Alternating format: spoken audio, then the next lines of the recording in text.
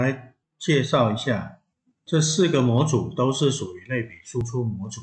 那比较常用的呢是这个单色的 LED 模组，这个是红绿灯模组，然后这一个是 L9110S 啊，这是一个马达驱动板，比较小功率的。